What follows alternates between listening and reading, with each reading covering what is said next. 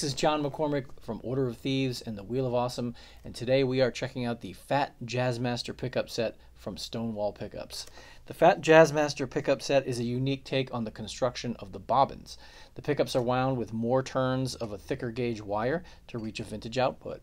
And since the coils are bigger than a traditional Jazzmaster pickup, the tone is slightly but noticeably fatter. I find that these pickups allow you to get all the jangle and sparkle you'd expect from a Jazzmaster, but they also push into some territory you might not expect, with thick overdriven tones and very lush cleans. Let's hear some sounds.